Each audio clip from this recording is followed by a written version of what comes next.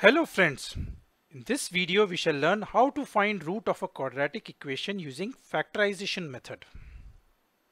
In our previous lesson we took an example of a quadratic equation.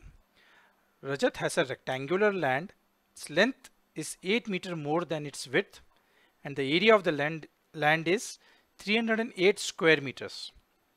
We need to find the length and breadth of the land. Assume width is equal to x meter so length is equal to x plus 8 meter. As area is equal to length into breadth, we get x plus 8 into x is equal to 308. Simplifying further, we get x square plus 8x minus 308 is equal to 0.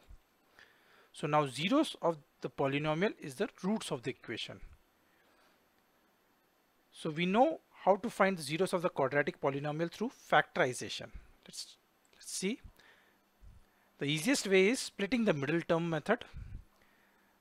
The polynomial can be thought in the form of ax squared plus bx plus c. So here in this example a is equal to 1, b is equal to 8 and c is equal to minus 308.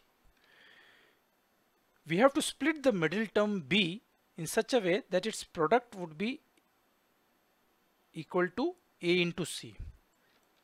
So here a into c is equal to 1 into minus 308 which is equal to minus 308. So 308 is a big number. We can do prime factorization to find its factors to make things easier. So 308 is equal to 2 into 2 into 7 into 11 using the prime factorization method. So we can say 2 into 7 is equal to 14 and 2 into 11 is equal to 22.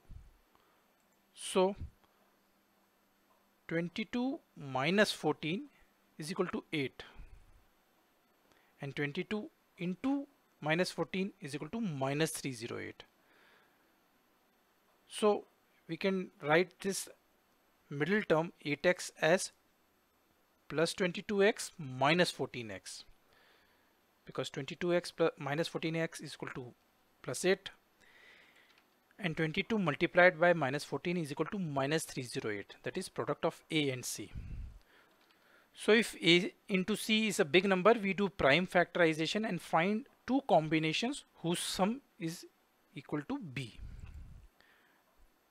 So x square plus 8x minus 308 is equal to x square plus 22x minus 14x minus 308 now we take out the common factor x from the first two terms and minus 14 from the next two terms. We get x into x plus 22 minus 14 into x plus 22. And now x plus 22 is common in both the terms. We take that as common factor. So x is left from the first term and minus 14 from the second term. So we get x plus 22 into x minus 14. Now the equation is x plus 22 into x minus 14 is equal to 0. So product of two entities is 0 if at least one of them is 0. So either x plus 22 is equal to 0 or x minus 14 is equal to 0. This gives us x as minus 22 or x equal to 14. These two values are the roots of the equation.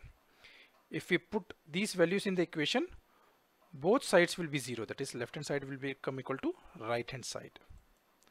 So this equation has two solutions.